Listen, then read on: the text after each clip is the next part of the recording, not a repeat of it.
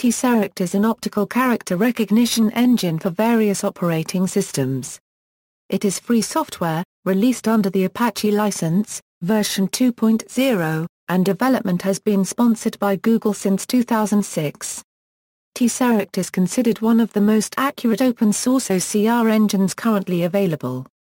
History The Tesseract engine was originally developed as proprietary software at Hewlett-Packard Labs in Bristol, England and Greeley, Colorado between 1985 and 1994, with some more changes made in 1996 to port to Windows, and some migration from C to C++ in 1998. A lot of the code was written in C, and then some more was written in C++. Since then all the code has been converted to at least compile with a C++ compiler. Very little work was done in the following decade. It was then released as open source in 2005 by Hewlett-Packard and the University of Nevada, Las Vegas. Tesseract development has been sponsored by Google since 2006. Features Tesseract was in the top three OCR engines in terms of character accuracy in 1995. It is available for Linux, Windows and Mac OS X, however, due to limited resources only Windows and Ubuntu are rigorously tested by developers.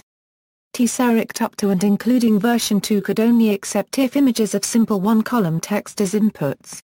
These early versions did not include layout analysis and so inputting multi-columned text, images, or equations produced a garbled output. Since version 3.00 Tesseract has supported output text formatting, HOCR positional information and page layout analysis. Support for a number of new image formats was added using the Leptonica library. Tesseract can detect whether text is monospaced or proportional.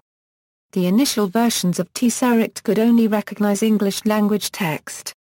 Starting with version 2 Tesseract was able to process English, French, Italian, German, Spanish, Brazilian Portuguese and Dutch.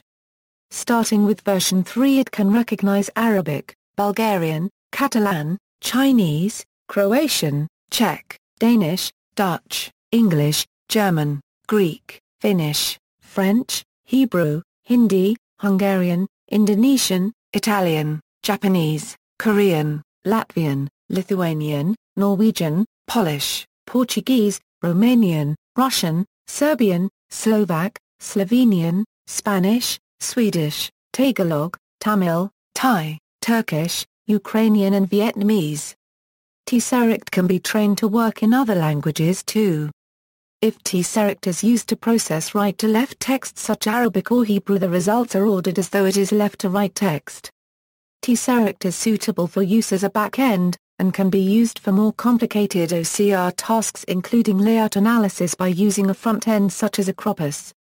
Tesseract's output will be very poor quality if the input's images are not pre-processed to suit it, images must be scaled up such that the text X height is at least 20 pixels, any rotation or skew must be corrected or no text will be recognized, low frequency changes in brightness must be high-pass filtered, or Tesseract's binarization stage will destroy much of the page, and dark borders must be manually removed, or they will be misinterpreted as characters. User interfaces Tesseract does not come with a GUI and is instead run from the command line interface. There are many separate projects which provide a GUI for Tesseract. One notable example is OCRFeeder.